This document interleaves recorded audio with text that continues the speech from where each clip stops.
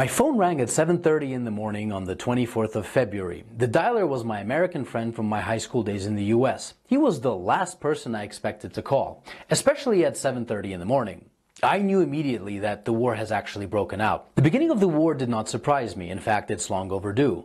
What surprised me was the fact that he knew nothing about the suffering that the Russian Ukrainians had endured over the past eight years. Let me get something straight. NATO promised that they wouldn't move an inch to the east. That was a lie. And now we are surrounded by an aggressive military alliance. NATO gladly bombed Yugoslavia under the pretenses of a potential genocide. Did they bomb just military installations? No. NATO destroyed schools, hospitals, bridges, cultural monuments, private businesses, and industrial plants. Did you forget about that? Did you forget about how NATO pumped money and weapons into Georgia right before Georgia bombarded Russian peacekeepers and civilians? Of course you did because your media doesn't want you to know. Did you forget how yet another territory was ripped away from Serbia? Do you not remember Kosovo? Did you protest then? I bet you didn't, and I bet you didn't even care. Did you forget the invasion of Libya? If you're in Europe, you can't forget. Thousands of migrants are your daily reminder of what your governments did to that country. Did you protest the illegal invasion of Syria by Turkey and the US? I bet you didn't. Do you care about Saudi Arabia starving Yemen? I bet you don't. Do you care or did you care about the illegal invasion of Iraq and Afghanistan under false pretenses? What, they aren't people to you? Why haven't you been vocal against the murder of children and civilians at Iraqi and Afghani weddings by American bombardment? Ah, that's right. They're brown people. They're probably worth less to you. Where were your crocodile tears when Kiev started bombarding Ukrainian Russians in the east simply for doing the exact same thing as the Ukrainians did in the west, was to get rid of a corrupt government? Where were your crocodile tears when Kiev shut off electricity and water to Crimea? Where was your save the Ukrainian people when 48 civilian anti-Maidan Ukrainian protesters were rounded into a union trade house and burned alive whilst those who tried to escape the fiery hell were beaten and shot? Do you by any chance know who the who the Madonna of Gorlovka is? Do you know who the or what the Alley of Angels memorial is?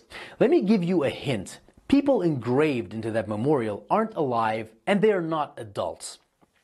Did you shed even one digital virtue signaling tear when the children at the children's beach in Zugres were purposefully bombed by the Ukrainian military using illegal cluster bombs? I bet you didn't. But that's okay. How would you? Your mainstream media keeps you in the dark. For eight years, the US and its allies have been pumping billions of dollars worth of lethal weapons into Ukraine. For eight years, the Ukrainians have been waging a war with their own people in the east. And for seven years, uh, Russia and the people of the Donetsk and Lugansk republics have been patiently waiting for Kiev to adhere to the Minsk agreements. Should Russia have waited maybe 20 more years? You know, uh, the amount of years that the U.S. spent killing Afghanis. So, whilst leaders like Boris Johnson, Joe Biden, Emmanuel Macron, uh, Olaf Scholz, and Ursula von der Leyen have been virtue signaling about the poor Ukrainians, they have been robbing the Ukrainians of their dignity, making their economy run on loans from the IMF, and basically robbing them of their future. And Russia is to blame when we were their primary trading partner. The West pushed Russia into a corner. Protect yourself from an increasingly hostile neighbor who wants to become part of a hostile military alliance called NATO and lose Nord Stream 2, for example. Or watch Russian Ukrainians get slaughtered by the thousands. The West wanted to fight this war with Russia until the very last Ukrainian. Remember Kosovo? Well, the Lugansk and Donetsk republics have every right to exist. Russia didn't set the precedent. Your leaders did when they recognized Kosovo. And final food for thought. Why was there no bombardment of innocent civilians in Crimea, even though it's closer to Kiev than Donetsk is? I'll give you a hint. The actual Russian military was there protecting the people. Here's another. The Ukrainian army has been fighting this invisible Russian army for eight years now in the east, according to your mainstream media. Why then did the Ukrainian army collapse within 24 hours when fighting the actual Russian military? And since it did, what do you think your tax dollars were doing in Ukraine. That's right. Your tax dollars were used by Ukrainians in the West to kill Ukrainians in the East, and you didn't give a flying fuck about it.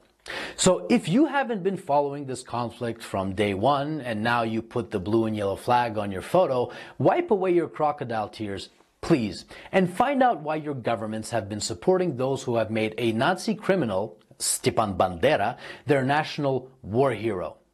Don't expect a good result from pushing a bear and the dragon into a corner. And definitely don't be surprised when that bear and that dragon begin pushing back. So if you haven't been crying for the collectively millions of dead Iraqis, Afghanis, Syrians, Libyans, Yugoslavians, and East Ukrainians these past 20 years, but you're crying crocodile tears for Ukrainian military installations, Wipe them away and think about what your governments have been doing and what they're still doing. And I hope that this eight year story of a war started by a criminal Ukrainian government against its own people can finally come to an end. And Ukrainians and Russians can finally live in peace.